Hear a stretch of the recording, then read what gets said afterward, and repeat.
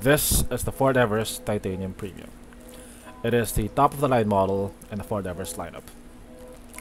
Is it worth its 2.2 million peso price tag? Let's find out.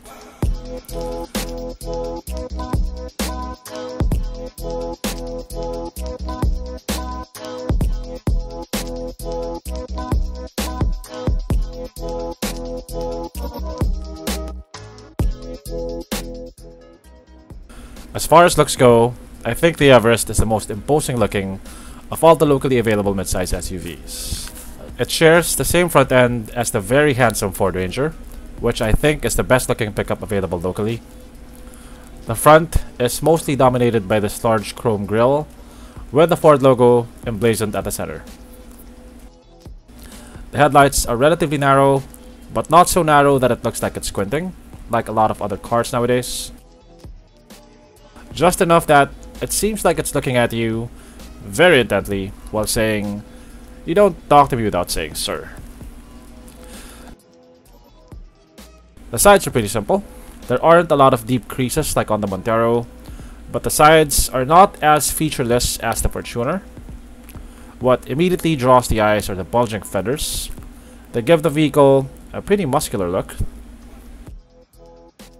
The car comes with 20 inch wheels, no other PPV in this segment and in this price range comes with 20 inch wheels. They look pretty sharp and they give the vehicle a more sophisticated look. The Everest also has 4 disc brakes on all 4 corners. The Everest doesn't have a bad angle. Everything looks cohesive. It looks aggressive and masculine without trying too hard. It looks rugged, yet classy, like a bodybuilder in a tailored suit. If you want technology, the Everest has it in spades. It is the most feature-packed of all the locally available SUVs at this price range. Perhaps the show stealer is the parking assist. The vehicle can parallel park itself with the driver only applying the brakes to control the speed.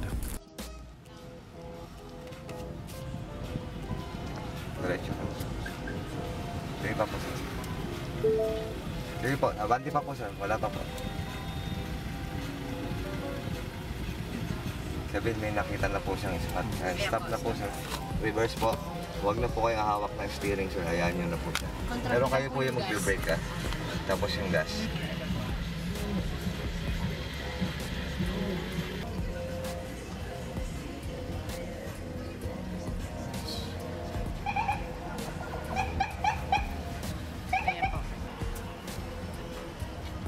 Tatansyahin nyo rin sir eh, kasi may kanal po. Baka malaglag. Pero siya pa rin yung mag-steer. And then it has active noise cancellation, which, as the name suggests, cancels out exterior noise through speakers inside the car.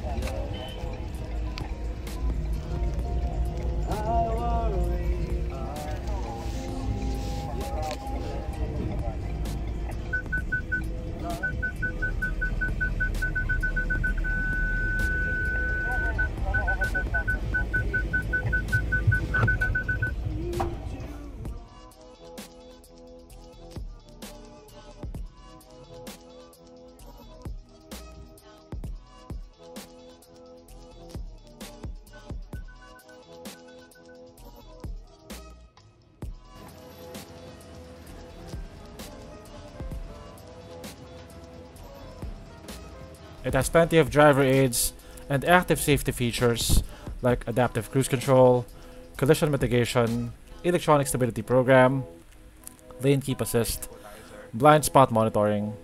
Aside from being convenient features to have, Features like adaptive cruise control, collision mitigation, lane keep assist, and blind spot monitoring also make the Everest safer to drive by minimizing the chances of accidents happening in the first place.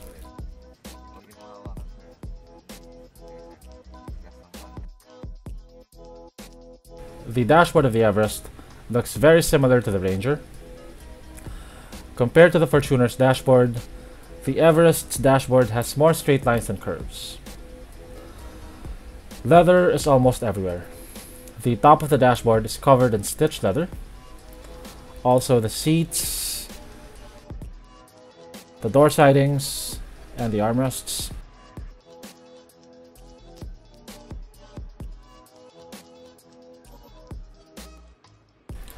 Both front seats are power adjustable. The Everest has dual zone climate control.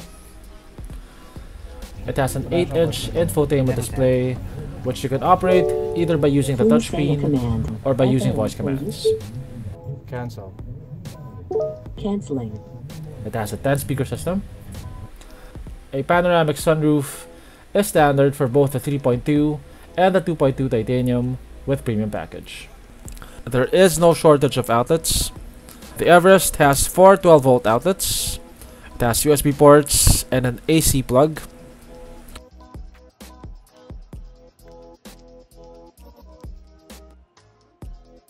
The Everest is powered by a 3.2 liter diesel engine, which produces a class leading 200 horsepower and 470 newton meters of torque.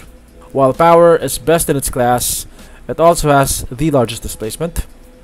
Combined fuel economy is 8.2 kilometers per liter.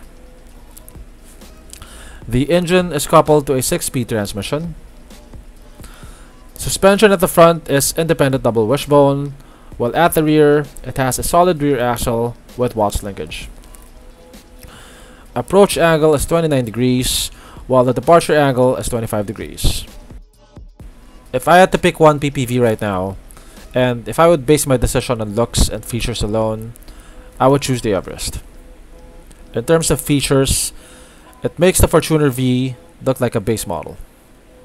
In comparison, the Fortuner doesn't have adaptive cruise control, it has no collision mitigation, no blind spot monitoring, no active noise cancellation, no panoramic sunroof, and of course no parking assist.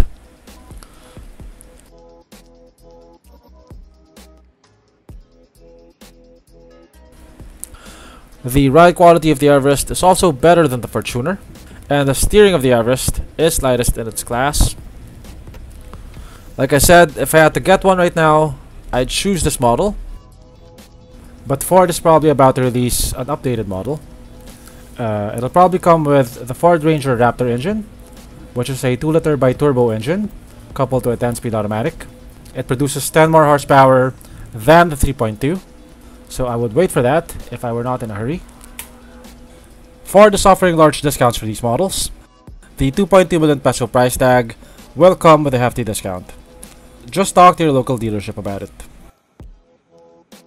Also worth noting is that most of the features available in this model will also be available on the 2.2 Titanium Premium, which is almost 200,000 pesos cheaper.